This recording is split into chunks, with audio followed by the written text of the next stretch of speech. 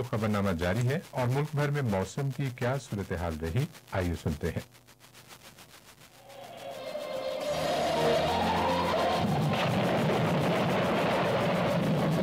मौसम की रिपोर्ट के मुताबिक दो दिन के बाद मुल्क के बालाई इलाकों में मौसम सरमा की पहली बारिश का इम्कान। दो रोज बाद ही मरी गलियात और उसे मलिका कश्मीर में मौसम सरमा की पहली बर्फबारी की पेश गोई। तफसील के मुताबिक सुबह पंजाब में गंदम की काश के इलाकों में कल भी मतला साफ़ मौसम खुश्क होगा। सिंध और बलूचिस्तान में मजीद दो दिन तक बारिश का कोई इम्कान नहीं। खैबर पख्तूनखा में कल बाद दोपहर बादल बनेंगे। कल रात, सवात और चित्राल की कुछ वादियों में बूंदाबांदी का इम्कान। एक रोज के बाद खैबर पख्तूनखा के बालाई इलाकों खसूस सवात चित्राल हजारा डिवीज़न और गिलगित बल्तिस्तान की बाद वादियों में हल्की बारिश, बाहर इलाकों में बर्फबारी का इम्कान। दो दिन के बाद इस्लामाबाद, रावलपिंडी, अटक, चकवाल, जेलम और खत्े पोटवार में गंदम की काश के बारानी इलाकों में बारिश की पेश गोई इस्लामाबाद में कम से कम टेम्परेचर सात डिग्री सेंटीग्रेड, लाहौर में ग्यारह, कराची में सोलह